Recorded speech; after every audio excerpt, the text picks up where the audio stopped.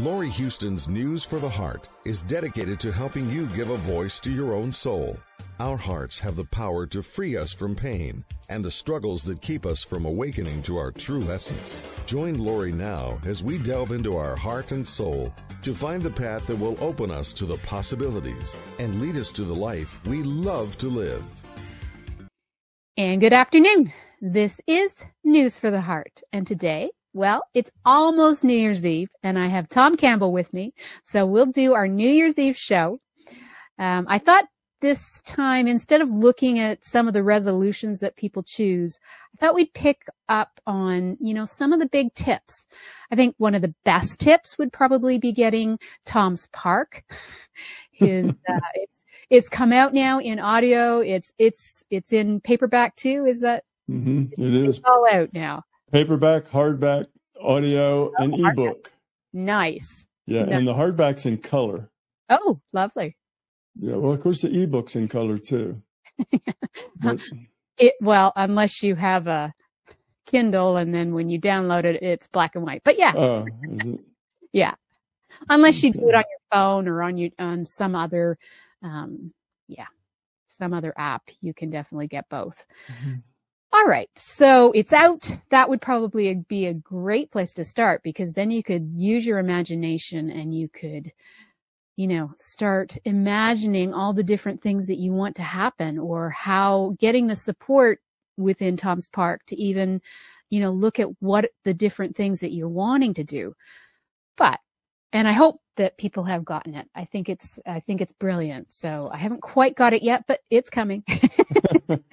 yeah it's definitely coming this year. You know, or, what it does is basically gives people a very uh, protected and safe environment in which they can do the kind of things they need to do to grow.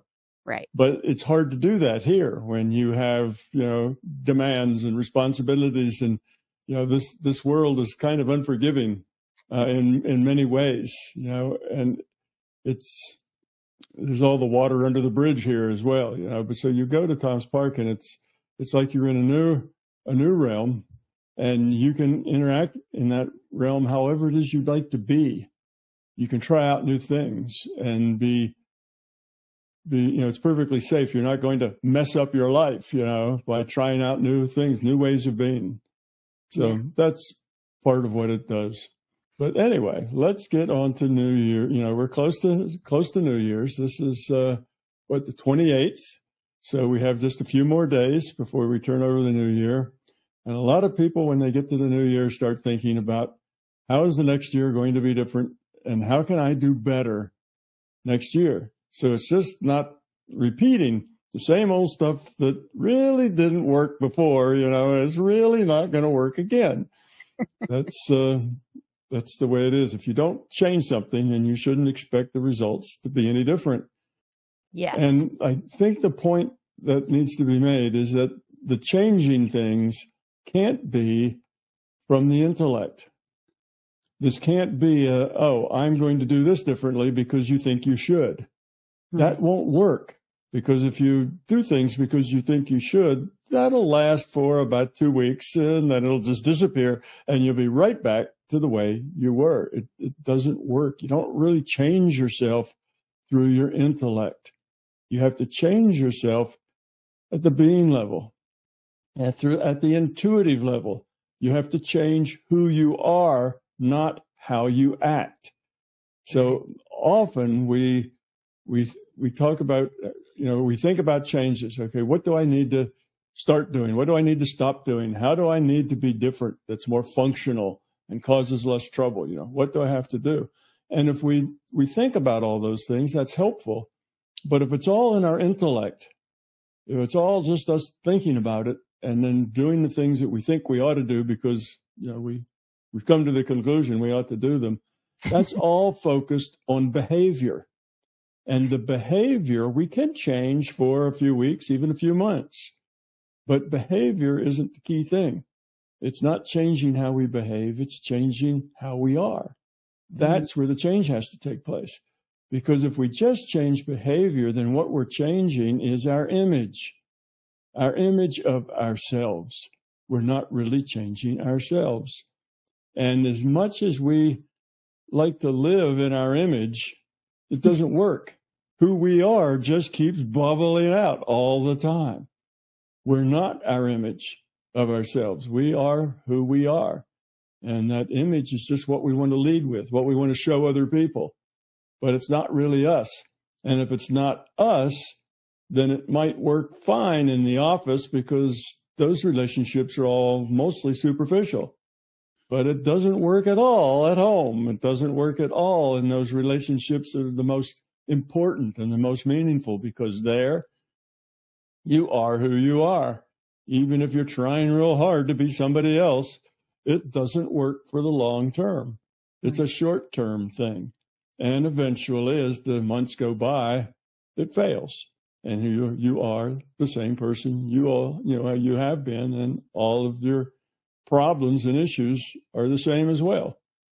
Maybe you've changed them a little bit in context, but it's all still the same stuff. So the idea is you really have to change yourself at the core, at the intuitive level, at the being level. So let's not just make uh, resolutions that have to do with making us act better or making us have a better image to present to people, maybe a softer image or a, a nicer image. Well, that's good. That's civilizing. I mean, there's nothing wrong with us trying to behave better. It just doesn't last because it isn't who we are. It may be civilizing to the, those around us for a while, but it just isn't who we are, and who we are always comes back. So even if we say, Oh, I'm going to ignore those buttons, when people say those things to me, instead of getting angry, I'm just going to smile. Well, what'll happen is you'll just smile and the anger will be inside. Even if you don't express it, even if you can push it down in your subconsciousness enough that you don't even recognize it, it's still there.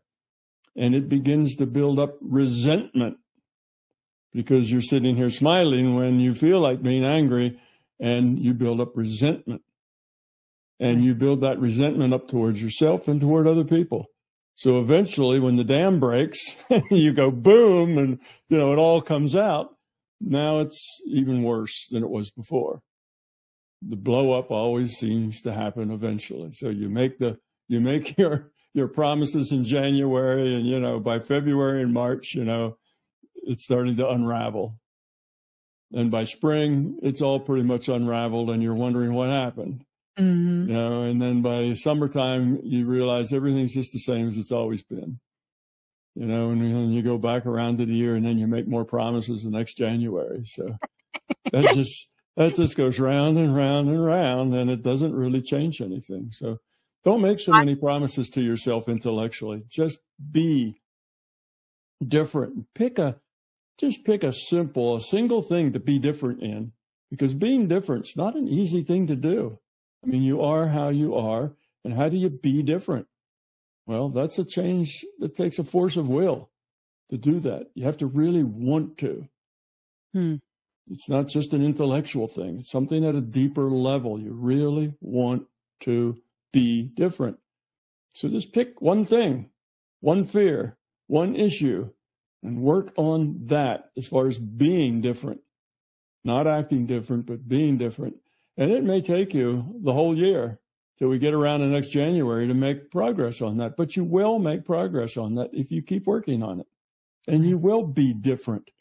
And then that issue will just disappear. It won't just keep coming around and coming around. So that's kind of the approach that I'd suggest that people be aware of the difference between their intellect and their intuition. And if mm. they work only in the intellectual space, they're liable to end up like puppies chasing their tail. You know, that tail is always right there in front of them, but they can't ever seem to catch it. You know, it's like they almost have their life together, but it falls apart and they can't quite get a hold of it. So just don't try to change everything all at once because that's maybe too much. And what we want is to, to try something smaller and have a success even if it takes you all year, even two years to have that success. Have that success, change yourself because the next one will be a lot easier. And the one after that, even easier yet.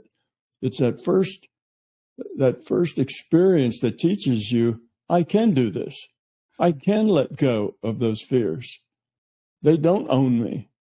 I can get rid of them. And once you get that, then getting rid of the rest of them isn't nearly as hard as getting rid of that first one. So getting rid of that first one is tough and it may take some time.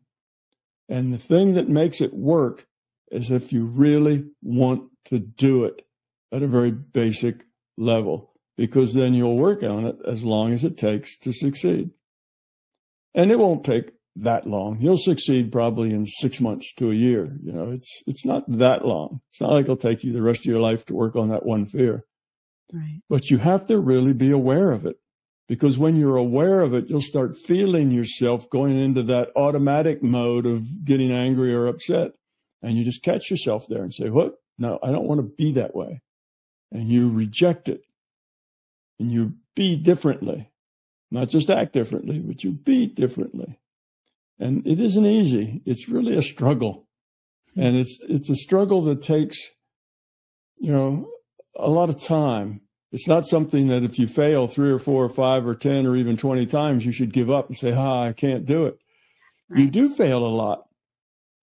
Matter of fact, in the beginning, you fail a whole lot more than you succeed. But you just have to keep working on it. And pretty soon that failure rate starts to go down and down and down. But and then you're succeeding more than you're failing, and then you're not failing at all.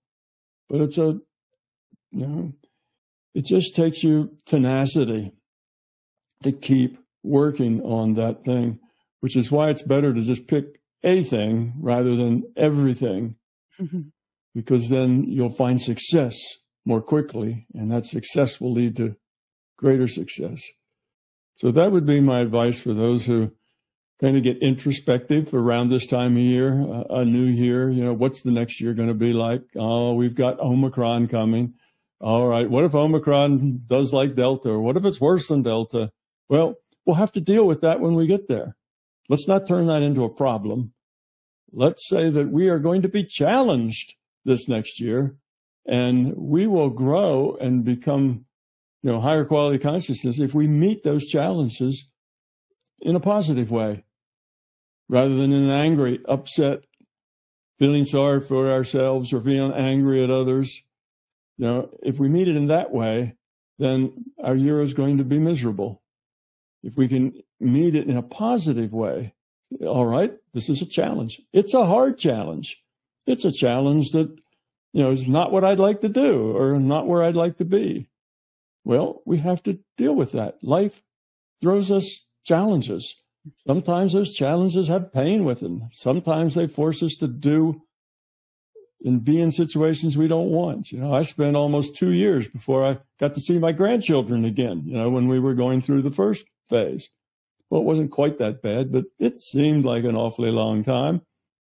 But you just have to say that's the way it is. These times require us to deal with that in a positive way, not in a negative way. And if you deal with things in a positive way, then the problem doesn't drive you crazy. The problem drives you crazy and and makes you you know kind of challenges your mental health and makes you upset and angry and feeling i got to get out of here you know i'm going stir crazy. All that happens because you're not dealing with it positively you're dealing with it negatively if you deal with it positive then it's yeah, it's not the way i want it but it's the way it is so let's make the best of that how can i make the best of this situation even though it's not the situation I would choose. It's the one life has given me. So how do I make the best of it? What do I do in it that's positive and, you know, productive? So then instead of sit around feeling sorry for yourself because life isn't the way you want it, you start learning and growing in new ways. You get out of the old rut and get into new ways of being and things of doing and ways of growing. So that's the perspective I'd like to pass to people. You know, take that long term perspective, not a short term perspective, but long term perspective of change and make sure that change is at the being level. You're changing the way you respond to things, the way you react changes. Not just you're getting better at stuffing it further down and you know, ignoring it or denying it or shoving it into the subconscious so you don't have to deal with it. You know, that's not a solution. That's a, just a temporary solution that will end up biting you in the end. It'll make things worse in the long term. So you just be positive about whatever it is happens. So okay, we have new challenges coming. We live in challenging times, no doubt. Well, the good thing about challenging times is that you get to grow when you're challenged. These challenges are, are opportunities for growth. If we didn't live in challenging times, we wouldn't have nearly as much opportunity to grow and change ourselves. So that's the good thing. So don't let it pass without, you know, taking advantage of these opportunities to grow up. So it's not that I would wish that we always had, you know, terrible and hard times. That's not the point. There are good times when you're not being challenged and basically you're just consolidating what you've learned. You know, you're consolidating it and you're, you're kind of firming it all up, gaining strength in your new ways of being. So we need those times, but then there's challenging times too. And those force us to stretch out and be different and be different in a positive way and to not let the fact that life isn't the way we want it be a negative thing. Let it be an opportunity to get out of old ruts and get into new ways of being mm. and do that positively. You know, how can I turn this into something useful? What can I do now that my life is different than it used to be? And how can I make that profitable? How can I be helpful to others? You know, what can I do here? So if you do that and have a positive attitude, then you'll find that there's nothing in your environment that will ever upset you or anger you or annoy you because you'll just see those things as challenges to be positive, challenges to accept and deal with in a positive way. So, you know, I, I don't want people to think that it's that you just kind of flight, float above life and aren't a part of it. That's not the case. You need to be involved and connected. You need to be a part of what's going on. But you don't need to be fussing and fuming and, you know, and being angry about it. That's all negative and won't help you grow. Matter of fact, it keeps you from growing. Yeah. So get engaged, get involved. Don't just float above it. You hear the spiritual uh, community sometimes saying you need to be detached. Well, that's not detached from life. That's detached from your ego is what you need to be detached from. You need to be detached from your fear, from those things that are pushing you inside rather than you making choices. You know, they're making choices because that fear is what's running your choice making. So you need to detach from that, from the ego, from the fear, from the beliefs. So in that way, yes, growing up requires detachment, but that's not detachment from life, detachment from relationship, detachment from, you know, from, from caring and connecting and being a part of things. That's not what you need. You don't need to detach from that. Matter of fact, you need to embrace that. When you embrace life and people and family and work and bosses and all the things you have to deal with, when you embrace them, you see them in a more positive light. And rather than just complaining about them, you'll, you'll learn ways to work better with them. You'll accept that they are just the way they are. And that's okay. You can't help that. You can't change them. So you learn to work with them as they are rather than be angry that they are that way because that way is annoying to you. well, that's your problem. Don't be annoyed. They are the way they are. So how can you work positive with them? Well, you may have to change who you are. But that change needs to be for the, you know, for the better. It's a positive change. Right. Don't be so judgmental. Accept things that you cannot control. If you can't control it, being angry with it is futile. Matter of fact, it's worse than futile. It, it, it's a problem. You become part of the problem when you are angry. And I know sometimes people say, well, if this doesn't make you angry, then you just don't understand. You know, everybody should be angry about this. Well, no, everybody shouldn't be angry about this. Everybody should care about this and want to want to change this to be something better for everyone. But being angry about it just adds to the problem. Hmm. Doesn't solve the problem. And the idea, well, if we could just get enough people angry enough, we could change things. That doesn't work. when you get enough people angry enough to change things, the change is usually as bad, if not worse, than what you're changing. It doesn't work out that way.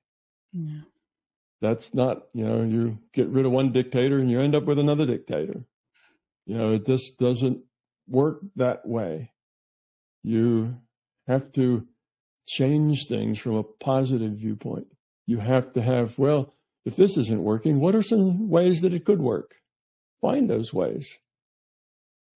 Ways that you can be positive. And if you can't be positive, then you need to change yourself. You need to be positive. So that's the kind of the, the general hints that I would have to tell people about how do you approach change? How do you approach challenge? How do you approach things being not the way you want them to be? oh, these people are this way, and that upsets me. Why are they like that? Why can't they be the way I want them to be? You see, is really what you're saying, even though what you actually say is they're so stupid. You know, what's the matter with those people? Well, basically, you're you're saying is those people disagree with me. Those people aren't the way I want them to be. Well, you need to get over that. Mm. Let those people be however they are because they are also learning from their experience. They also learn from pain. And if the things they're doing are going to cause them pain, well, that's their learning path. You, it's not yours to fix that. Right. You can't go in and change other people. So if they're doing things you think are stupid and, and dysfunctional, well, you can't change them. And hollering at them and shaking your fist at them and calling them names doesn't help change them it makes it harder for them to change. They double down in their whatever it is their beliefs are. So you just have to let them go through whatever they need to go through so they'll get the consequences of going through it and perhaps learn something. Right. You know, and you have to do that cheerfully. So that's what I mean by accepting. I don't mean that you're just Pollyanna. Oh, everything is perfect. Everything is fine. You know, we're all love inside, so it's all okay. I don't mean that at all. It's not Pollyanna when I say you need to accept these things. It means you just have to realize that you are not the master of the universe. You cannot have everything your way. And you need to let people be on their own learning path, even if that learning path takes them through very dysfunctional spaces. They evidently need those dysfunctional spaces to help them learn. And most people learn because they feel pain. That's how they learn. And most people are slow learners, very slow learners. So here they are and they're doing, they're making poor judgments and they're causing themselves a lot of pain. And tomorrow they're doing the same thing. And next year they're doing the same thing.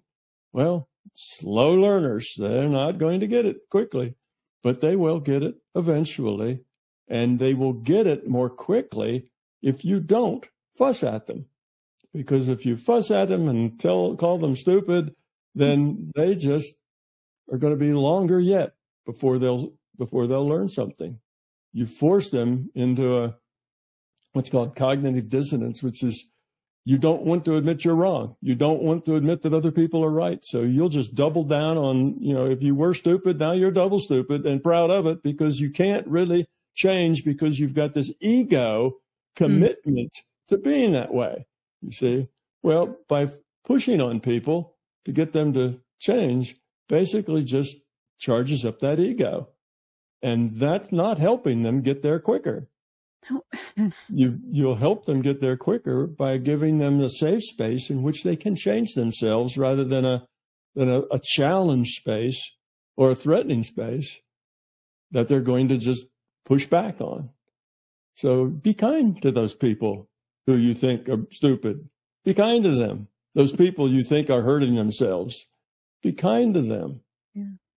Give them give them not your pity, but your your your consider your yeah your yeah your, your compassion. Yeah, give them your compassion. Don't pity them. That's kind of putting yourself above them. Exactly. Just give them compassion.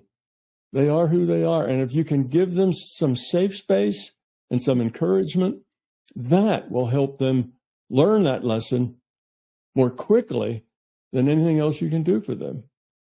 They need to get to the point where they say, Oh, I'm hitting myself, you know, in the head with a hammer. Why am I doing this? I think I should stop. But if you holler at them and say, Stop hitting yourself, stop it. That's stupid. You're stupid.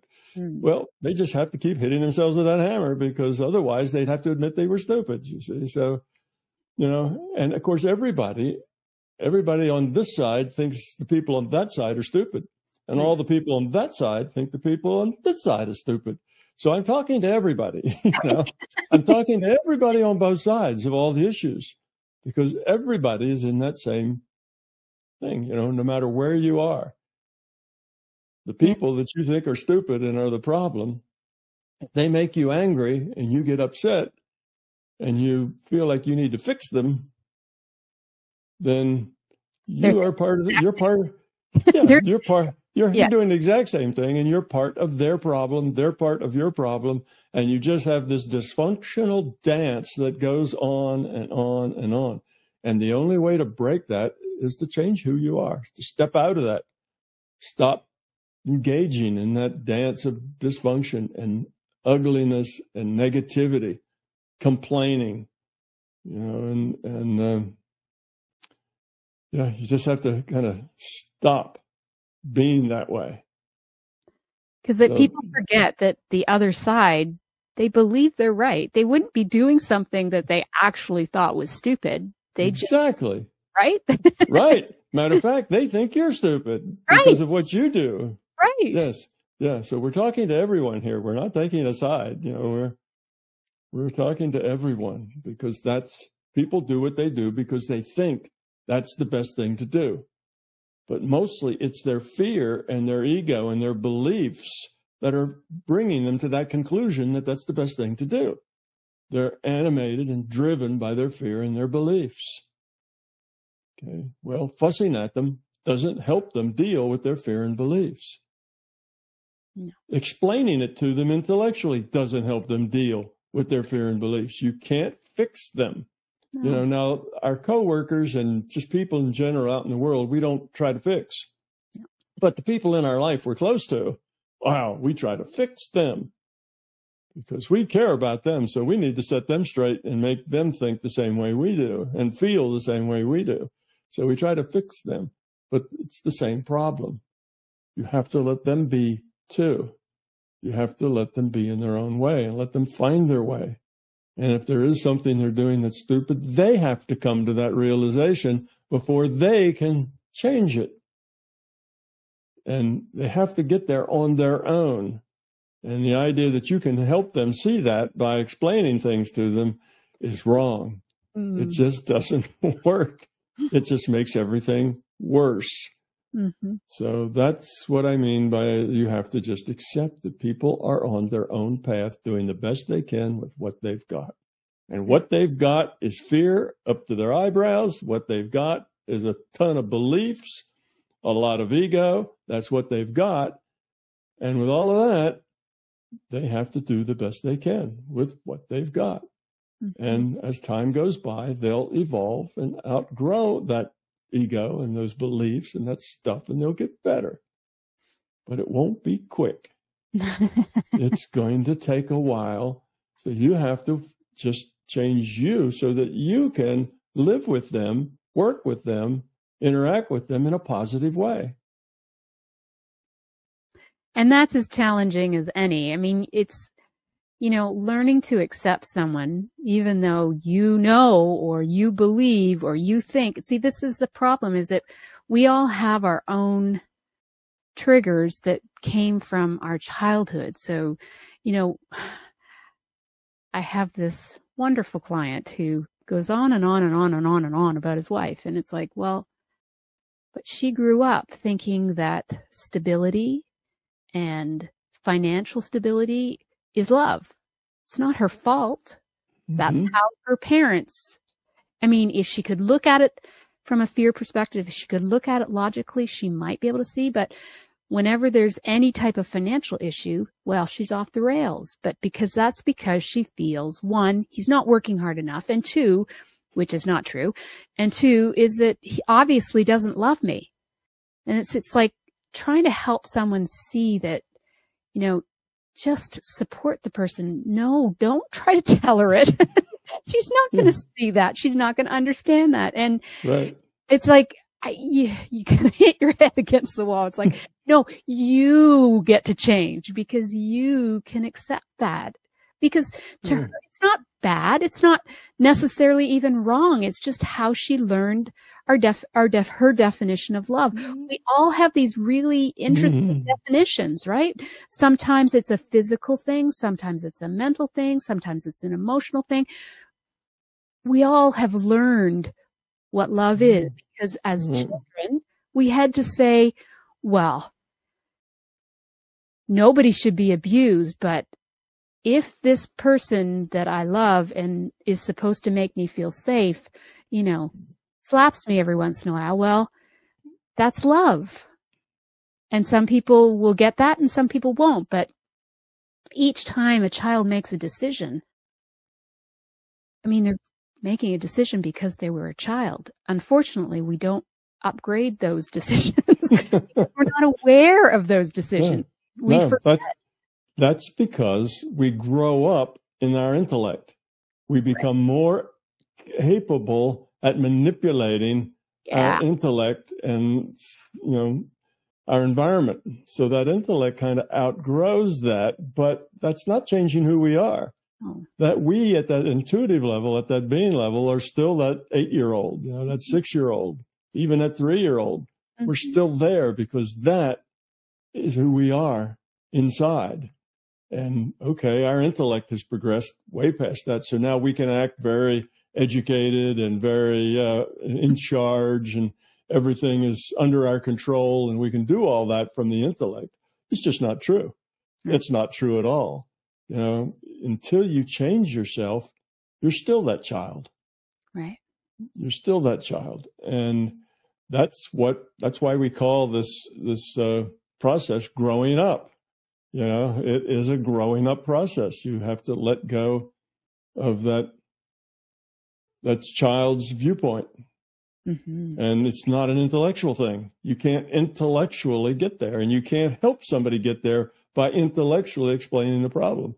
That's why people came to the conclusion many years ago that uh, psychiatry really wasn't much of a help. You know if you just had a friend come over and listen to you that was about as effective as paying a psychiatrist you know what thousands and thousands of, of dollars and each one worked about the same because mm-hmm. a psychiatrist explaining to your intellect what your issue was just isn't all that helpful. You mm-hmm. see? So then psychiatry started to change a bit to try to deal with that inner person, and they became, you know, more useful when they did that. But psychiatry started out as well, just explain to people what their issue is, and once they see it, they'll be cured. well, that didn't work. You know, that was not it's just not the way it it works. So now they understand they have to dig deeper and and uh, you know, work at a different level if they're going to not only be a psychiatrist, just be a counselor and just be helpful, just be a good friend. hmm You know, you can't do it at the intellectual level. You have to connect with people at the being level if you're really going to connect with them. Now, if you're just going to superficially connect with them, well, you can do that at the intellectual level. That's what most of it do with people we work with. Right. Well, we go to work with them and, you know, we're there eight hours a day, you know, turning our crank, doing what we do, and we interact with everybody intellectually. And that works just fine because in the workplace, there's rules that say, don't talk about things that are controversial. Don't talk about religion. Don't talk about politics. Don't talk, you know. Mm. We have those rules and everybody pretty much obeys them. And it works. So all the relationships are superficial and they're all intellectual for the most part. and that's okay because that's all you're trying to do is grease the, the social skids enough to get your work done. But when you come home, it doesn't work like that. But people try to do the same thing at home that they do at work. You know, they, they try to make the relationship superficial. They try to manipulate to get it the way they want it, which is what they do at work. And all of that's counterproductive in a relationship that is much more meaningful than superficial. All that stuff just doesn't work. You have to let that go and actually deal with things at a, at a more fundamental level, not the superficial level. Superficially treating, you know, your significant other is just going to create resentment and it's going to create explosions. Mm-hmm. Everybody will suck it up to the point that they can't anymore. And then boom, you know, mm-hmm. anger, hollering, screaming, crying, you know, you have big problems.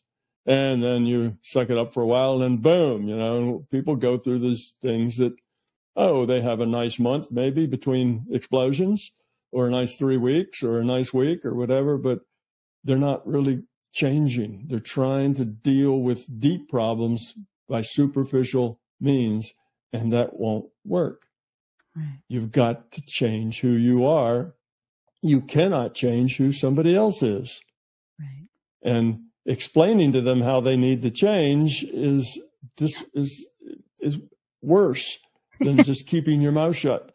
You know, saying nothing at all is a lot better than trying to fix somebody else. So that's typically uh, the way it is with most people. Now, some people are right on the edge of getting it, and a little nudge, then, even maybe from the intellect, might help. But that's rare. That's the very rare circumstance. That has to be that person is just just a tiny bit from getting it themselves, and a little nudge maybe will help pop them over. So those cases do exist, and people can say, "Oh yeah, well I talked to somebody and it really helped them." You know, it was all intellectual. That's because they were ready to help themselves, and you maybe gave them that last nudge. But if you had never said anything, they'd have gotten there just the same, maybe a week later, because they were right on the verge of getting it. So yeah, that happens, but when it does, it's a rare event. Don't depend on that. Don't think that that's the rule if you explain it to somebody, they'll think about it and agree with you because, you know, you have, you're right. And, you know, you understand everything, right? That's the way people feel about themselves. Um, yeah. yeah. You just, you just don't have any idea how different we all are. All of us live in our own reality. We're yeah. all very different. We don't live in the same reality. And when I'm in my reality and I say, well, I know how everything works in my reality. So if I just explain it to you, you know, then that'll be fine. You can, you can feel good like I do. Well, mm-hmm. that's not your reality. Me explaining to you, you know, how you should be to be good in my reality doesn't help you in your reality because you don't see things that way. That's not what's important to you. Your mm-hmm. reality is different. Different things are important you know, to you, like you say, maybe you're the person that uh, needs financial um, security in order to feel loved. Or maybe you need presents in order to feel loved. Somebody needs to buy you things. Or when you're feeling really depressed, you want to go out and buy things for yourself because, you know, getting things is what makes you feel okay. Or, or feel okay.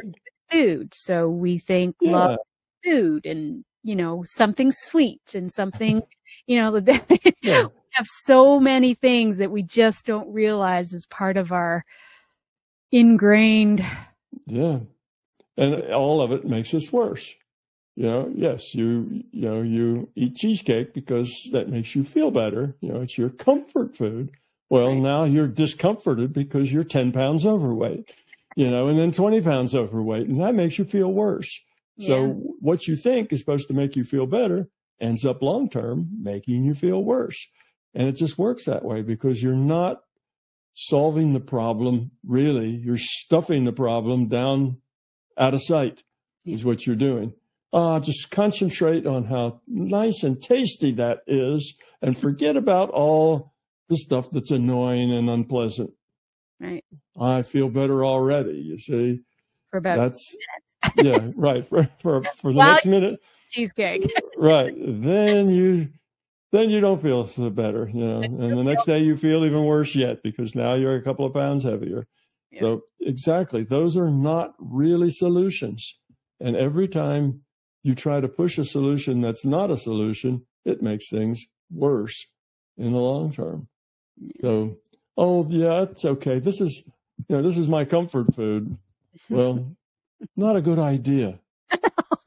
not a good idea. You need to find comfort at a fundamental level, you know, at the being level. You need to find peace and happiness that's real, not that is imagined because it tastes good or imagined because you just bought yourself something expensive. So now you feel good about yourself.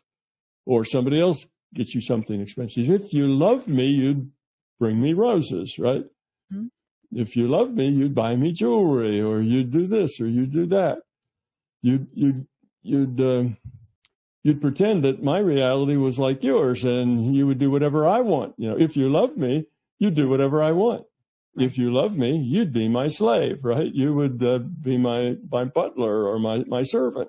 If you love me, you would do what I want you to do. Well, all of that's nonsense. It has nothing to do with love.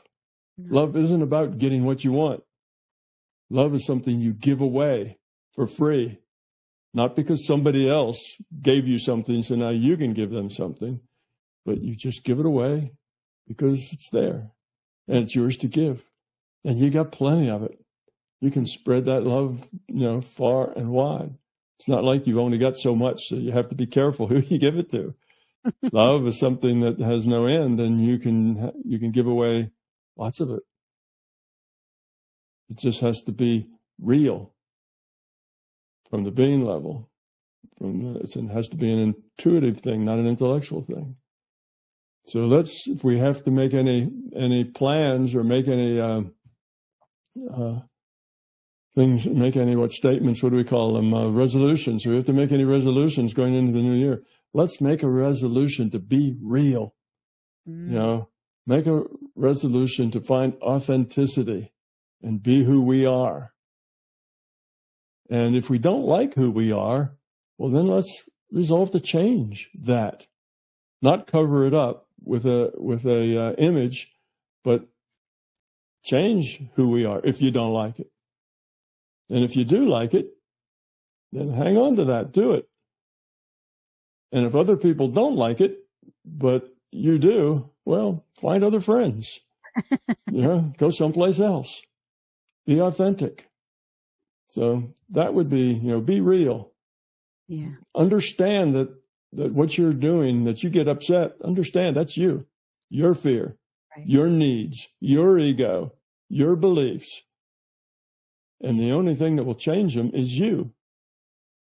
And to think that I'd be just fine if everybody else would be the way I want them to be, that's never going to happen. So just let that idea go. It isn't going to work that way.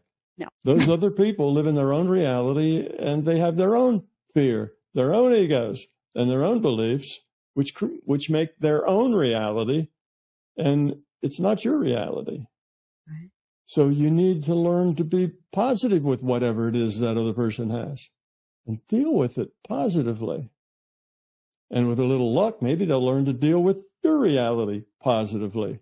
But if they don't, well, that's okay. They're on their path. They'll learn someday, and there's no way to help them learn other than to stay positive and give them a safe place in which they can stretch out and change themselves. So that's should be kind of the attitude moving into the into the new year. Be authentic, be real, work not from the intellect, but from what's inside you at your core. That's what I mean by being authentic is finding out what is in your core. You know, that's the first step is is kind of getting in touch with who you are. All that fear, all that um, ego, all those beliefs. Well, get realize that is you. You do have that fear. You do have that ego. These things upset you. Why do they upset you? Well, it's not the way it should be. Well, learn to deal with that positively, not negatively by getting upset or negatively by complaining. Learn to deal with it positively. And people think, well, that's impossible. You know, these people are really awful. How can I deal with them positively? well, you can. Not only you can, but you must.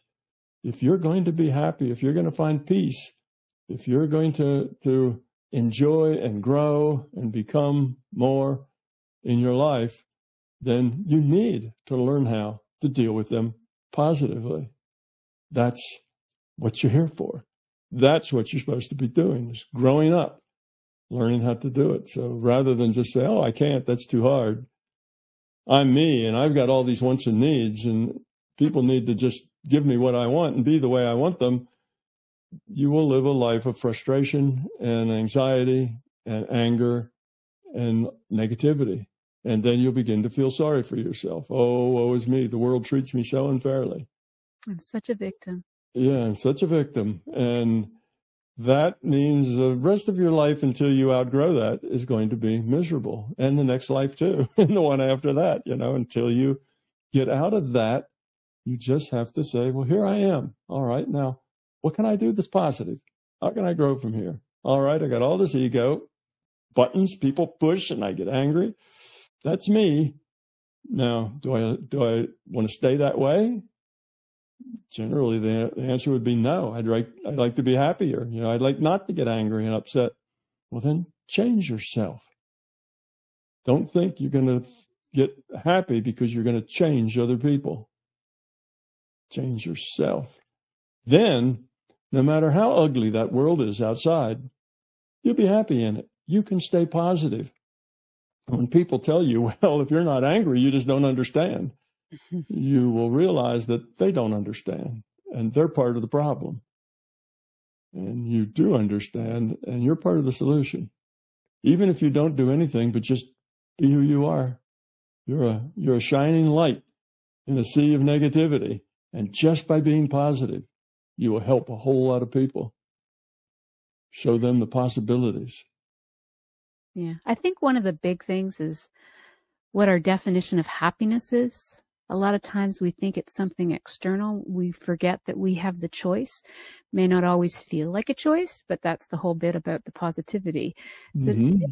We feel happy within. It's not, it's not something that we get from somebody. It's not something that we buy each other. It's, it's, it has to come from within. It has to be mm more intuitive versus intellectual because I think we focus a lot on the intellectual, like, oh, well, I'll be happy when. right? Exactly. Yeah. And that doesn't work because even if when comes, there'll be another when right after that. Mm-hmm. Yeah. Even if you do get, even if they do act the way you want them to act, something else will come up immediately to replace that. And you'll still be back in the same place that you were. Yeah. It never, uh, you know, people see their life as a series of hurdles, you know, that they've gotten over. And oh, if I could just get past this, everything would be great. Mm-hmm. And sometimes they get past it and everything isn't great. It's great for a month, but it's just not great in the long term because they haven't changed. Right. Sometimes life passes you, you know, the, the easy stuff. Sometimes life is throwing you softballs rather than hardballs. And everything seems great. But if you don't learn through that time, if you just say, ah, feels good, let the good times roll and everything's good, and you don't make an effort, then that life won't always throw you the softball. like sometimes it's going to throw you the hard ball and the curve ball and all sorts of things for you to deal with. And hmm. then it's like, well, I'm under siege. I can't grow now because everything is whatever. And oh, everything's easy now and I can't grow now because everything's just fine. Why should I change it? You say, well, you never grow. you have to have this focus on changing yourself. And you have to take whatever you get, hardball, softball, curveball, or, you know, something just sweet and lovely. You have to be aware that you need to make better choices. You've got fear, you've got ego, you've got beliefs, and you need to get rid of that stuff because that's what makes you unhappy. Right.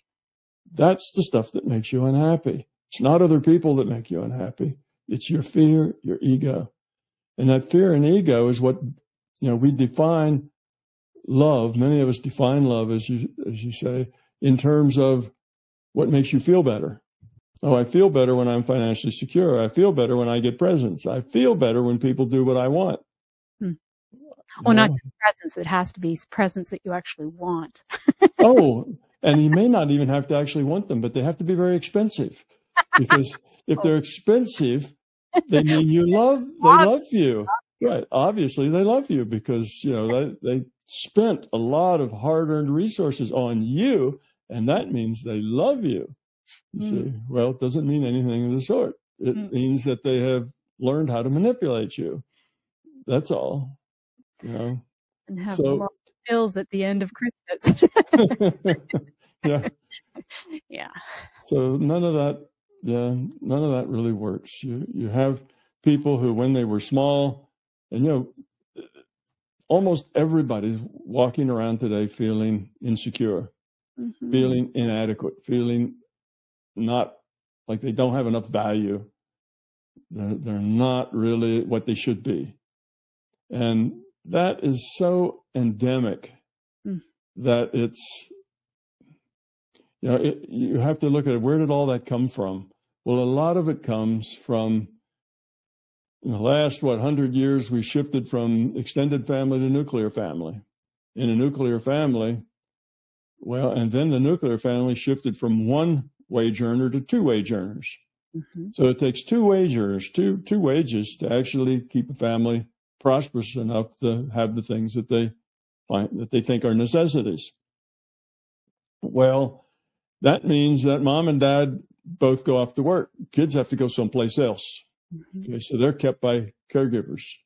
Mom and dad come home and they've just worked a hard day and they really don't feel so much like playing. You know, they feel like unwinding and they've got to cook dinner, then they got to clean up, they got to, you know, do whatever they have to do to get ready for the next day.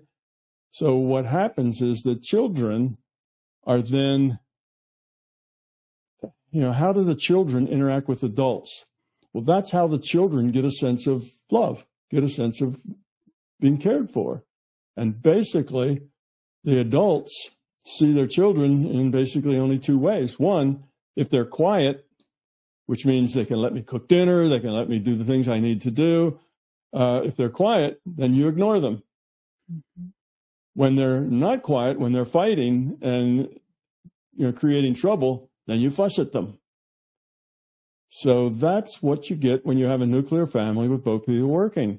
A great deal of the adult child interaction is the good times are when you're being ignored.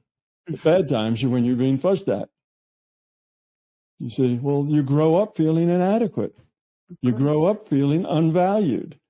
You grow up as always being shunted aside because, yeah, mom and dad have to go to work. They have to do this. They have to change the oil in the car. They have things to do. They have to cook dinner. They have all these things they have to do. And they just don't have time from you because you're just not that important. Mm-hmm. The oil in the car is important. Getting dinner fixed is important. Going to work is important, but you're just not that important. So children grow up feeling insecure that they're not all that important. Well, what happens? They're now they're 40 years old or 50 years old or something, and they feel like they just don't have that much value. They feel inadequate because that's what they felt from babyhood to 18 when they got out of the house and they go out, of course, get married, have a two, you know, have a nuclear family, and they do the same thing with their kids. Mm-hmm. You know, because, because that's it. They love their kids, right. but some, you know, they have to get have a job, they have to fix dinner, they have to change the oil. You know, there's things in life that they have to do, and if the children would just play nicely together, well, that's good. Then they could go do those things, and everybody's happy. And if the children fight, well, then you got to go fuss at them and tell them to cut it out. They're being bad children. And we don't realize that the sense of feeling inadequate is, is cultural. Yeah. It's part of our culture.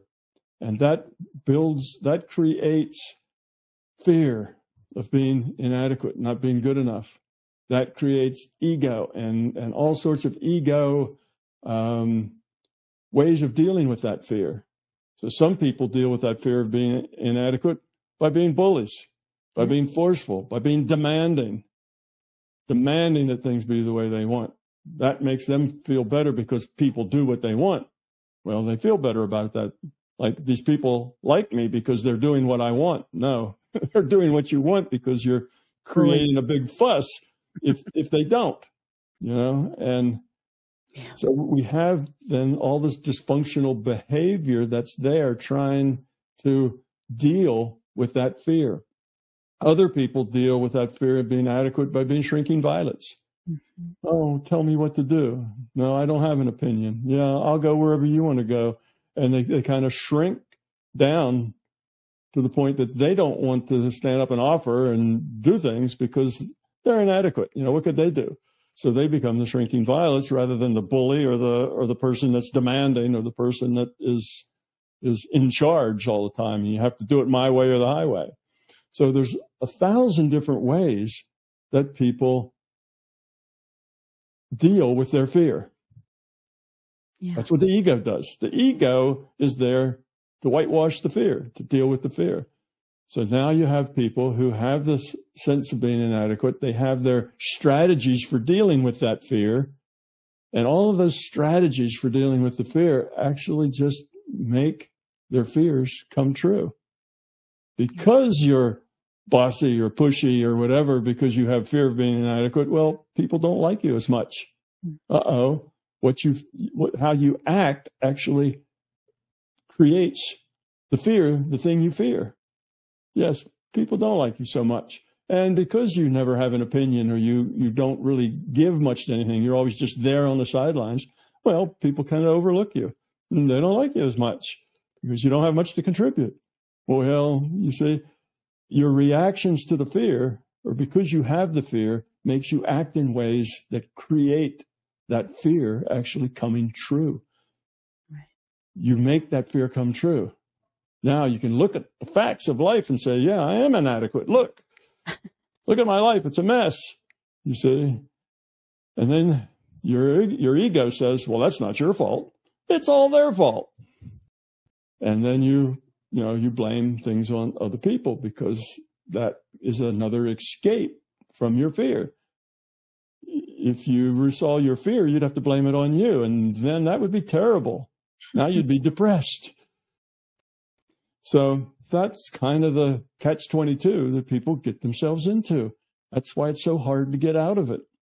Mhm. You see, we keep doing things that validate our fears. We act in ways that validate our fears. And so the, the fear just tends to grow and we tend to become more and more fearful. We get better and better at our strategies for ignoring and denying that fear. So we blame other people more and more. We become more angry in general with life because life sucks and life is not friendly and life is just too hard and and so on. And you see where that spiral goes. It just goes down and down and down and down until it crashes and depression at the end of it. And then you're depressed. And then you feel sorry for yourself. And now you're at the bottom. Now, sometimes people hit that dark night of the soul when they hit bottom and they respond, they come back and they change. That's good if they can just keep on that path because now they're trying to change themselves. And sometimes they just stay down there and wallow around in that self pity all the rest of their life. But they learned how to make strategies so that they can have a few friends, you know, people they can complain to. You know, so they, they keep, so they're nice to some people, so they have people to complain to. So in any case, that's kind of the way our world works. Our cultural is very dysfunctional in the way we interact, the way we treat our children, the way we, you know, the way our, our, our businesses try to take advantage of their people. You know, it's not like, how can we help these people grow? How can we help these people become, you know, uh, better employees? How can we grow our people? It's not like that. How can we get more out of our people and give them less? You know, what kind of tricky things can we do? You know, how can we change their benefits around, which actually makes it better for us and less good for them, but we'll dress it up and tell them that it's a, it's a great thing for them. You know, so corporations tend to want to take advantage of their people, use their people? How can we trick these professionals into working for free? Oh, you're salaried. You just work to the job. And then we'll give them more work than anybody could possibly do in eight hours and expect them to work for free. Well, that usually works. You see, it's it's this attitude of using other people to get what we want. And people who are feel inadequate kind of fall right into that trap. And now you have this big dysfunctional culture that just grinds on with a lot of unhappy people complaining and calling each other's names and you're stupid, no, you're stupid. And here we are. right? This is where we live. Here we are. Okay, folks, we got a new year coming up. Let's not join that that merry-go-round. Let's get off that merry-go-round and say, I don't want to play that game anymore. It's dysfunctional. I don't want to be that way anymore. I'm going to be real. I'm going to be caring. I'm going to care about people. I'm going to let people be whoever they are, and I'm going to deal with them positively. I'm going to find fun. I'm going to find positivity. I'm going to find, you know, a happy space, a peaceful space to live in.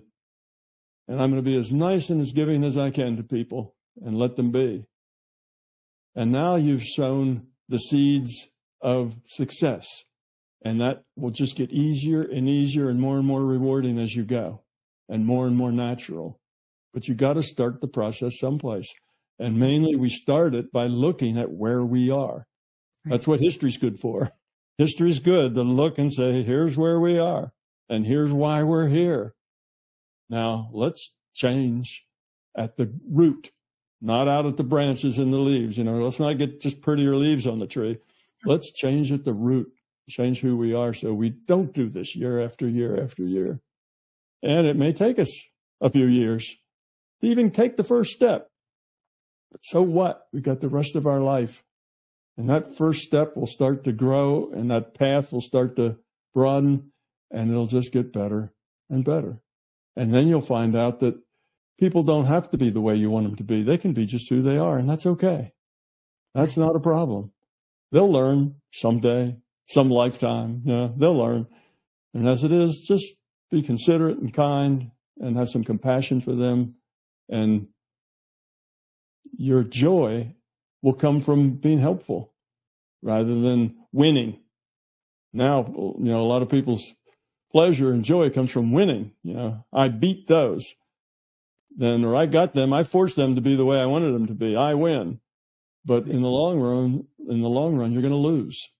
Your life is going to be all struggle. And that winning is going to turn, it looks bright and shiny, but it's going to get tarnished real, real soon. So if you really want to win, let the other people be, change yourself, and find that happiness inside you. Don't make it the environment's job to provide you with happiness. That won't work. The environment isn't made to make you happy. You have to make yourself happy by being positive. So go. That's yeah. So go, people. Get out there and uh, you know grab yourself by the bootstraps and pull yourselves up out of the muck. Rise kind of up above what your culture, you know, feeds you. Because this this culture is just uh, basically abusive from one end to the other. You know, it's not a culture that feel that feeds positivity. So you have to be the change. You have to be the change, right? Yeah. In the world. You All don't make the change, you be the change. Right. Well, I think you've given us lots to think about. yeah. yeah. Lots to think about for this new year coming and how we might be different so that we can end up in a happy space, in a positive space, rather than one that's just struggling or just getting by or is negative or one that's depressed or one that's that is kind of blaming others. You know, it really is a nice place to be. It's a great, it's a great environment in which to grow up. You just have to get past enough of that fear to where you feel the positiveness of it, and then it just tends to grow. Yeah. So that's what I say. Taking that first step is the hard one. Right. Taking that first step is the hard one because you have to change. And when you change, you're going to be out of step with your culture.